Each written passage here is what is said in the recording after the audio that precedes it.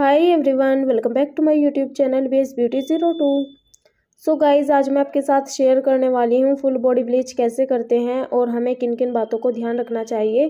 सो so guys आप देख सकते हैं, यहाँ पर मैंने ली है ब्लैक डायमंड ब्लीच और हम इसको डार्क स्किन पर करेंगे। एंड गाइज़ अगर आप फ़र्स्ट टाइम ब्लीच करने वाले हैं तो आप इस वीडियो को ज़रूर देखें। और आप देख सकते हैं, इसके अंदर एक्टिवेटर है तो हमें क्रीम और एक्टिवेटर को दोनों को मिलाना है। लेकिन वो किस क्वान्टिटी में मिलाना है, वो मैं आपको बता देती हूँ।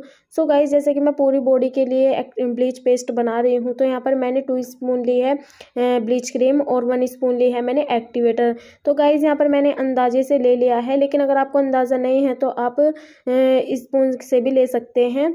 और गाइज़ इसको हमें अच्छे से मिक्स कर लेना है। एंड गाइज़ आप देख सकते हैं यहाँ पर स्किन इनकी काफ़ी डार्क है। तो यहाँ पर हमने इनकी स्किन के अकॉर्डिंग थोड़ा सा एक्टिवेटर ज़्यादा रखा। लेकिन जब हम फेस के लिए ब्लीच पेस्ट बनाते हैं तो उसमें हमें एक्टिवेटर बहुत कम रखना होता है। और ब्लीच क्रीम के अकॉर्डिंग हमें एक्टिवेटर डालना होता है। लेकिन अगर बॉडी पर हम थोड़ा एक्स्ट्रा भी हो जाता है तो उसमें इतनी दिक्कत नहीं होती है। क्योंकि हमारे फेस की स्किन बहुत ज़्यादा सेंसिटिव होती है, जिस पर हमें बहुत ज़्यादा एक्टिवेटर ज़्यादा यूज़ नहीं करना है। सो so गाइज़ आप देख सकते हैं, यहाँ पर हमने ब्लीच क्रीम को अप्लाई कर रहे हैं पूरी बॉडी पर और जहाँ पर स्किन थोड़ा डार्क पार्ट होगा, वहाँ पर आपको थोड़ा सा ब्लीच की लेयर थोड़ी मोटी लगानी है ताकि ब्लीच का अच्छे से कलर आ जाए। एंड गाइज़ अगर पेस्ट अच्छे से नहीं बनता है। अगर पेस्ट की मिक्सिंग अच्छे से नहीं होती है तो ब्लीच का कोई भी रिज़ल्ट नहीं मिलता है और जो उसके अंदर दाने रह जाते हैं, उससे स्किन पर बहुत ज़्यादा ईचिंग होती है। तो आप जब ब्लीच पेस्ट बनाते हैं तो उसको बहुत अच्छे से बनाएँ, उसकी काफ़ी देर तक मिक्सिंग करें, ताकि एक्टिवेटर और ब्लीच क्रीम दोनों अच्छे से आपस में मिक्स हो जाएँ। और जब अच्छे से पेस्ट बन जाता है और हम उसको स्किन पर लगाते हैं तो बहुत ही अच्छे से रिज़ल्ट मिलता है। और गाइज़ इसी तरीके से हम, जैसे हमने हाथों पर लगाया उसी तरीके से हम पेट पर, बैक पर और पैरों पर भी हम सेम उसी तरीके से लगाएँगे। लेकिन आपको पेट पर लगाते हुए ध्यान रखना है, नाभि के अंदर नहीं जाना चाहिए, इससे स्किन में प्रॉब्लम हो सकती है। और स्किन अगर कहीं से कटी हुई है या फिर दाना निकला है या फिर कहीं से जल रही है तो आपको उस पोर्शन को छोड़ देना है। अगर आप इस तरह स्किन पर लगा देते हैं तो स्किन बहुत ज़्यादा इचिंग होती है, बहुत ज़्यादा स्किन बेकार हो जाती है। इससे मतलब जैसे, जैसा हमारा दाना होता है, उसमें बहुत ज़्यादा जलन होती है, जिससे बर्दाश्त नहीं होती है।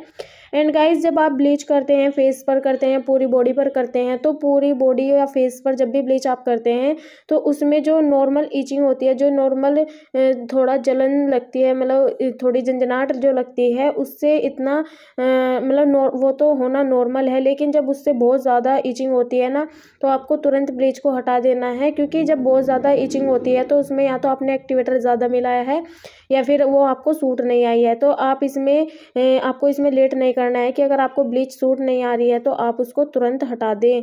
और इसमें नॉर्मल जो ईचिंग होती है, वो तो नॉर्मल है। और अगर आप घर पर अपने ब्लीच करते हैं तो पहले आप अपने हाथों पर लगा कर देख लें, आपकी स्किन को सूट आ रही है या नहीं।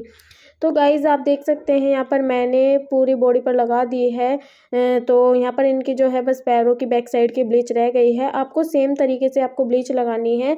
एंड गाइज़ अगर आप ट्री ब्राइडल करते हैं तो आप उसमें वैक्स के तुरंत बाद ब्लीच मत करें, क्योंकि अगर आप तो वैक्स के तुरंत बाद ब्लीच करते हैं तो इससे स्किन पर बहुत ज़्यादा दाने निकल जाते हैं या फिर रैशेज़ हो जाते हैं। तो आप थोड़ा सा गैप लेकर या तो ब्लीच अप्लाई करें या फिर आप वैक्स से पहले ब्लीच अप्लाई करें। लेकिन जैसे गाइज़ आप ब्लीच करते हैं और हेयर ग्रोथ बहुत ज़्यादा होती है बॉडी पर तो आपको सबसे पहले करना है वैक्स और उसके बाद आपको करना है ब्लीच तो आप उसमें अगर वैक्स के एक घंटे बाद अगर आप पूरी बॉडी पर ब्लीच अप्लाई करते हैं तो उससे कोई दिक्कत नहीं होती है।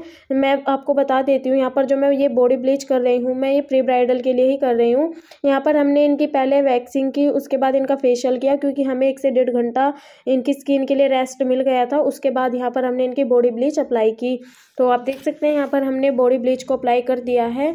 और गाइस जब हम फेस के लिए ब्लीच पेस्ट बनाते हैं, वो अलग बनता है और स्किन के लिए अलग बनता है। तो आप ऐसा मत करना कि आप मेरी वीडियो को देखकर फेस के लिए भी इतना ही पेस्ट बनाएँ। आपको जितनी नीड हो, उतना आपको पेस्ट बनाना है। सो गाइज़ यहाँ पर हमें आधे घंटे के बाद या बीस पच्चीस मिनट के बाद आपको स्किन से ये ब्लीच को हटा देना है। नॉर्मल पानी से आपको ब्लीच हटा देनी है। और फिर आपको एक बार फिर से क्लीन पानी से एक बार दोबारा से स्किन को साफ़ करना है। सो गाइज़ स्किन क्लीन होने के बाद आप देख सकते हैं कितना अच्छा रिज़ल्ट मिला है। हम ब्लीच इसलिए करते हैं ताकि स्किन थोड़ा फेयर हो जाए। स्किन पे जो डार्क निशान होते हैं, वो डल पड़ जाए। तो आप देख सकते हैं यहाँ पर इनकी बॉडी पर काफ़ी अच्छा रिज़ल्ट मिला ब्लीच होने के बाद। अगर आपको ये वीडियो अच्छी लगे तो प्लीज़ वीडियो को लाइक शेयर कमेंट करना और चैनल को सब्सक्राइब करना। Thank you